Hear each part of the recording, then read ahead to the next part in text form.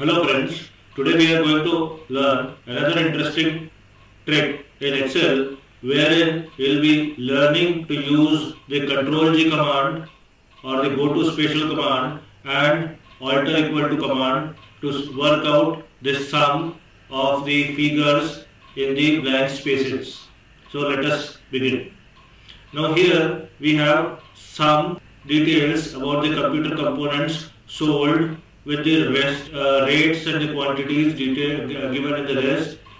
Now what we want to do is we want to get uh, the blank cells identified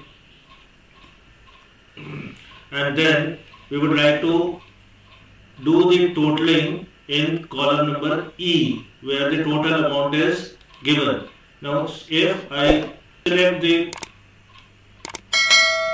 column E from top to bottom and then just press Ctrl G there will be a pop-up box saying go to and then we will press go to special here there is another pop-up box wherein we will be selecting blank and we will click OK. The sooner we click OK, you will see that all the blank cells in column number E are automatically selected.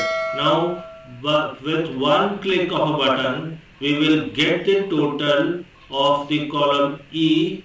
How it is done? We will be using the Alt equal to formula for doing this. So, I am pressing Alt and equals and you will see that the totals have all been done automatically in the uh, blank spaces or blank cells all at once.